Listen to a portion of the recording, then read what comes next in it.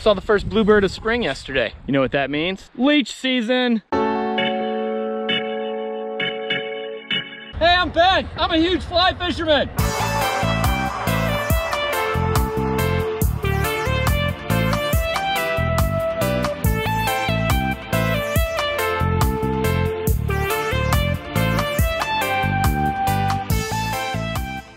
I'm gonna teach you how to tie the pine squirrel leech. Super quick, super easy, super simple. Ever heard of a guide fly? Yeah, this is one. Pine squirrel leech. Two times you should be fishing a pine squirrel leech, when it's raining and when it's not. Quick and easy to tie, and it catches fish. It's an attractor fly. I like attractors. Leeches are everywhere. Fish like them. Fish eat them. When's the leech hatch start? It's just not fixing to come off. All right, anytime now. Here's what you'll need. A hook, any hook is fine. Seriously, any hook, as long as it's the right size. Some thread, and some squirrel zonker strips. Black, brown, purple, whatever. This fly's so easy to tie, I don't even have to show you how, I can tell you. Put the hook in the vise, attach the thread, wind it to the back of the hook, tie in your zonker strip, bring the thread up front, tie in the strip again, and you're done. Really, that's it. Cut the tail short, no more than a shank length. I tie my leeches from about this big to this big. You could make this fly fancier, but what's the point? It works fine the way it is. It's an easy tie to fly. Now's a good time to like this video and subscribe to my channel. Check the sick links in the description. What do you think about leeches? I like them as much as the trout do. Now go catch a fish. Stay huge.